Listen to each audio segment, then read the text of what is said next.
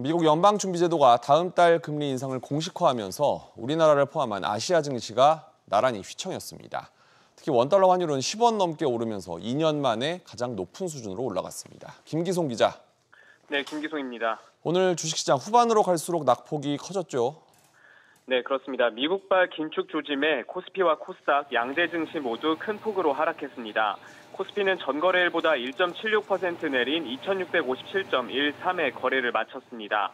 개인이 1조 원 넘게 매수하며 외국인과 기관의 물량을 소화했지만 팔자 공세를 버티기 어려웠습니다.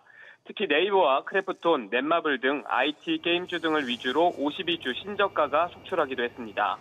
코스닥 지수는 2.49%나 급락한 899.84에 마감하며 900선이 무너졌습니다. 아시아 증시도 일제히 급락했는데요. 일본 니케이 지수는 전거래일 대비 1.9% 내렸고 중국 상하이 종합지수는 5% 급락하며 3천선이 무너졌습니다. 홍콩 항생 지수도 3% 넘게 떨어졌습니다.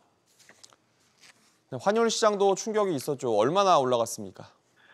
네, 원달러 환율은 오늘 하루만 10원 넘게 오르면서 1249원 90전에 거래를 마쳤습니다. 장 마감 직전 1250원을 돌파하면서 2020년 3월 이후 2년 한 달여 만에 가장 높은 수준까지 오르기도 했는데요. 미 연준의 빅스텝 예고와 함께 중국 성장 둔화에 따른 위안화 약세의 영향으로 풀이됩니다. 한번 들어보시죠.